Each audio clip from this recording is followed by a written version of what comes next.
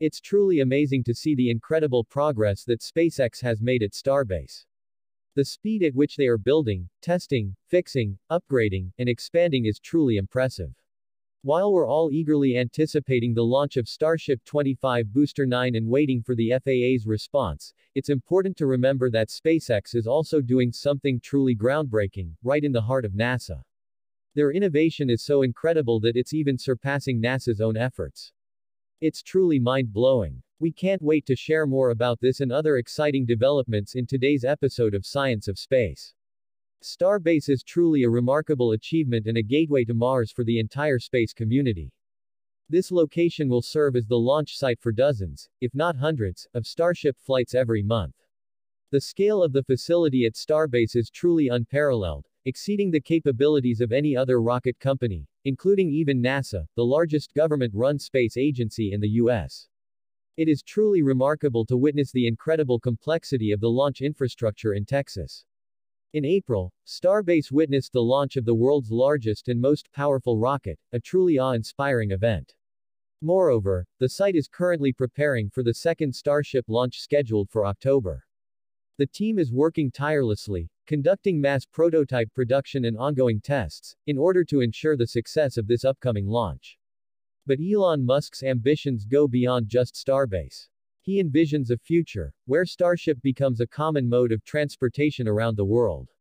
With this in mind, he intends to establish a launch network that is even more extensive than we might initially think. The first location he is aiming for is the launch facility in Florida. It is truly remarkable to see the passion and dedication behind these endeavors. Elon Musk and his team are pushing the boundaries of what is possible in space exploration and transportation, and their efforts are truly inspiring. Despite facing challenges and delays, SpaceX has made remarkable progress in the construction of the second iteration of the Starship's orbital launch site in Florida. The company has worked diligently over the past 13 months, laying foundations, modifying existing structures, and installing necessary infrastructure. They have built a second towering launch tower and installed the legs of the orbital launch mount. Additionally, SpaceX has implemented a water deluge system and assembled most of the mount off-site. They have also constructed a new, larger storage tank and delivered numerous smaller storage tanks. Despite setbacks, SpaceX remains committed to their mission and continues to push forward, in their pursuit of space exploration. The incredible creation of a gigantic set of steel arms brought them to Pad 39A, where they were carefully connected to a wheeled vehicle. With great care and dedication, the structure was then installed on the Starship launch tower in Florida. These remarkable arms, lovingly named chopsticks by SpaceX employees, play a vital role in what CEO Elon Musk fondly refers to as Mechazilla. Mechazilla represents the extraordinary combination of the launch tower, and arms that SpaceX has ingeniously designed to safely handle, stack, and fuel both stages of the Starship. Their impressive achievements deserve recognition. The completion of the tower's arms in Florida, which will be capable of handling and stacking the Starship in super-heavy spacecraft even in windy conditions, is a testament to the skill and dedication of the engineers involved. Building the Starship launch tower is considered by many to be even more challenging than producing the spacecraft itself, showcasing SpaceX's commitment to pushing the boundaries of space exploration. Not only are they constructing a watchtower in Texas, but they are also building an additional launch tower in Florida, demonstrating their dedication to innovation and progress. Their accomplishments have set numerous records in Florida, catching the attention of NASA and other space organizations.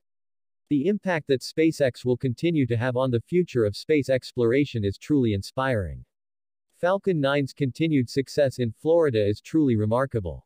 It's important to take notice of the hard work and dedication that goes into each launch. The Falcon 9 has proven to be a reliable workhorse, completing an impressive 66 launches to date. But what's even more impressive is the recent record-breaking feat achieved by the Falcon 9. In just 60 seconds, it surpassed the previous record of 61 Falcon flights in a single year, setting a new record at the end of 2022. This is equivalent to a launch every 3.9 days, a significant improvement from the previous year's average of 5.9 days. It's amazing to see the rapid pace at which SpaceX is achieving its goals, with the 10th launch of 2023 completed by February 12, the 20th by late March, and the 30th launch just around the corner.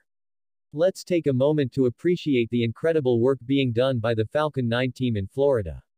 As we look at the launch schedule for SpaceX, we can see that the second week of May marks the beginning of a busy period, with 40 launches planned for mid-June. This is followed by even more launches in the tail ends of July and August, with 50 and 60 launches respectively. When we compare this to last year, we can see that it took until the second week of March 2022 for the fleet to hit 10 flights, and it wasn't until early September that they reached 30 launches. However, with 61 launches achieved by New Year's Eve, it's not unreasonable to expect more than 90 missions before the end of 2023. It's important to note that nearly 60% of SpaceX's missions this year involve deploying Starlink Internet satellites into orbit. Additionally, the company has launched three crewed missions to the ISS, along with three Falcon Heavy rockets since the beginning of the year. We can see that the primary factor driving SpaceX's increasing launch cadence is the company's ability to reuse rocket boosters and first stage components. In fact, in July, SpaceX launched its Falcon 9 booster for the 16th time, as engineers extended the first stage's lifespan from 15 flights to 20 missions. We can only imagine the hard work and dedication that goes into achieving these milestones, and we applaud SpaceX for their continued success. According to SpaceX, they have reserved the extended utility for Starlink launches. Additionally, their launch teams have been working hard to optimize their launch sites for faster turnaround times.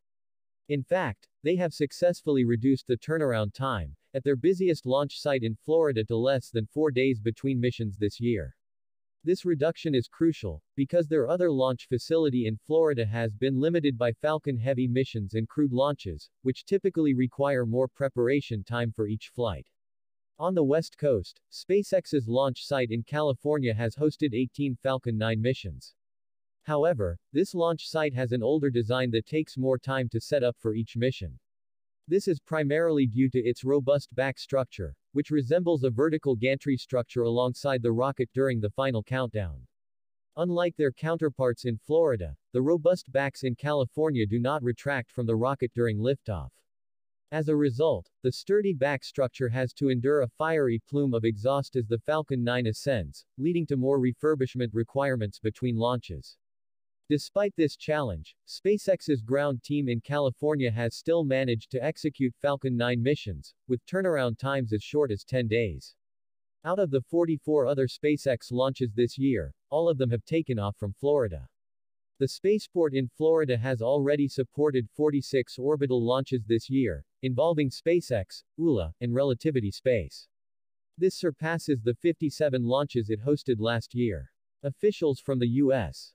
Space Force's Space Launch Delta East, the agency overseeing launch operations from Cape Canaveral Space Force Station and Kennedy Space Center, have efficiently coordinated their activities to meet the increasing demand for launches, mainly driven by SpaceX.